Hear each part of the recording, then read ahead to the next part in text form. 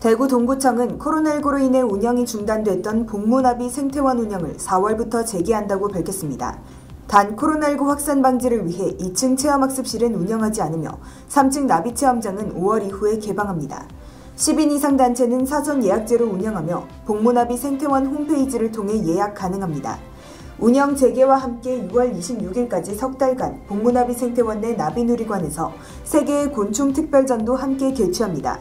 세계의 이색적이고 희귀한 곤충을 주제로 한 특별전으로 생태학적 의미가 우월하며 교육적이고 전시에 적합한 300여 종을 선정해 곤충 표본 천여 점과 서식곤충 생태사진, 살아있는 서식곤충 등을 전시합니다.